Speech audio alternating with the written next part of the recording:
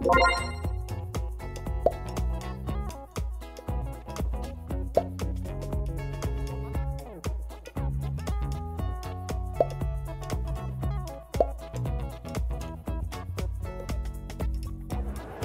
primjer, Kockograd. Svi želimo da imamo kocke kad smo mali.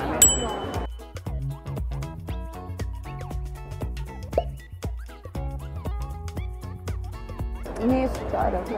Mm. Možda smak sveta.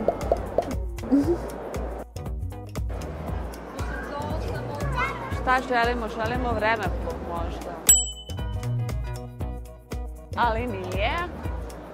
A, da, želimo da imamo kućicu na drvetu, jel to? Da, ovo je naredna knjiga koju preporučujemo da pročitate.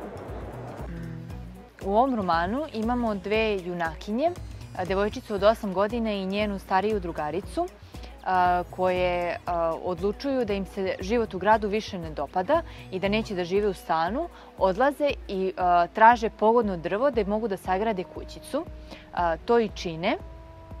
I kućica koju one grade je kao kuća iz snova koja ima sve što jedna dečija glava može da zamisli. Na drvetu živi takođe još jedan stanar, džangrizavi starac, koji im priređuje raznorazne nevolje, ali one su vrlo snalažljive i visprene i one se sa svakom nedađom u koju upadnu suočavaju i izlaze iz njih kao pobednice.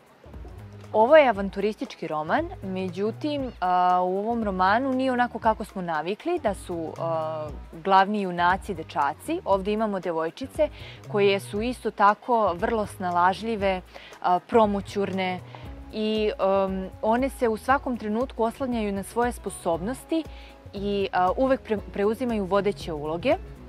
Iako na momente podleže nekim stereotipnim prikazivanjima, Ovaj roman je izuzetno zanimljiv i ima snažne, upečatljive junakinje koje se ne sreću tako često u književnosti za decu.